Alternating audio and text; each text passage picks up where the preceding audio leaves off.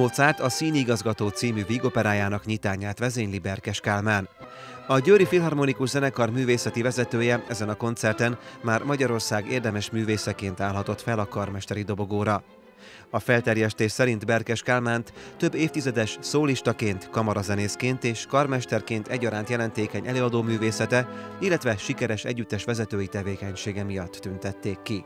Az egész életem arról szól, hogy zene, meg emberek. Ez a két legfontosabb fogalom, és úgy gondolom, hogy, hogy ettől a zenekar is talán motiváltabb, még motiváltabb lesz.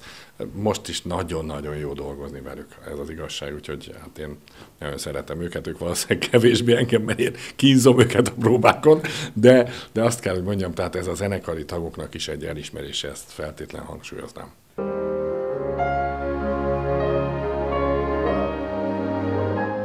A Győri Filharmonikus Zenekar művészetét azonban nem csak itthon, hanem például Japánban is elismerik, hiszen meghívást kaptak az egyik legnevesebb japán fesztiválra, amely az ottani kormány támogatását is élvezi.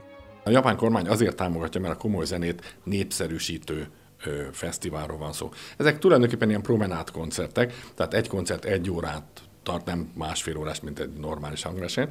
Hát ebből lesz nekünk most 13. úgyhogy, úgyhogy azért az nagyon sok, és 20 valahány darabot kell játszani. Ezért kényszerültünk most is műsorváltozásra, itt ugye az olasz helyett egy németet játszunk, Schumann első szimfoniáját, mert ott kint ezt kell játszani. Ugyanis minden évben ennek a fesztiválnak van egy témája, amely most a természet, tehát természetzenéket kell játszani. A zenekar már készül április 23-i Győri hangversenyére is. Az Otello koncertszerű előadását Hozé Kura vezényli majd az Audi arénában.